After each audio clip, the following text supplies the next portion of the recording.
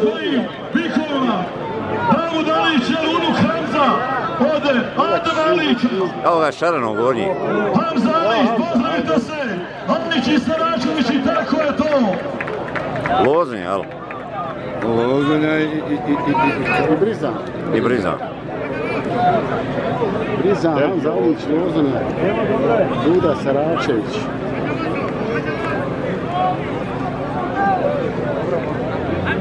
Neka budu pripremni, neka budu spremni za sljedeću borbu, sljedeći par. Ringo i Jelenko. Ringo ode Ševrudina Šabanovića i Jelenko Darmina! Publika O! Šabana. Nemoj vamo, samo nemoj vamo živ bio.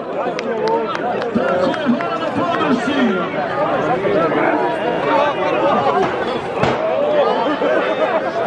Lozni. Alonso! Lozni. Alonso!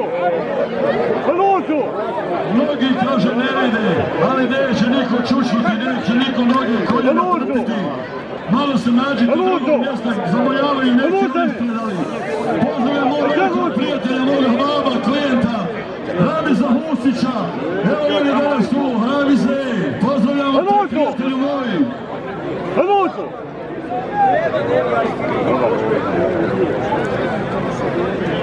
Alonso! Nikola, imamo u Srbiji Nikola. Ima li ovakvih korida Nikola u Srbiji? Nema, kaže. Eluzo! U Beogradu živi Eluzo! 25 godina. Eluzo! 25, prati Marijanu Dugovića. I kaže, drago mi je danas što sam tu u Lugovima.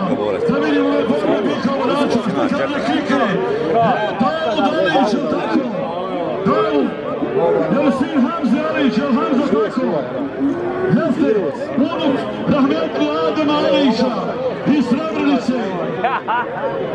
Ne može slika bolja ljudi, slažu Šta je tu je?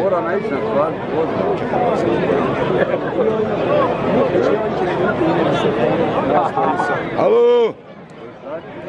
Alo, Davide! Mašina, ej, mašina, ej! Hamza, kakva je to mašina, Hamza? Kakva je mašina, Hamza?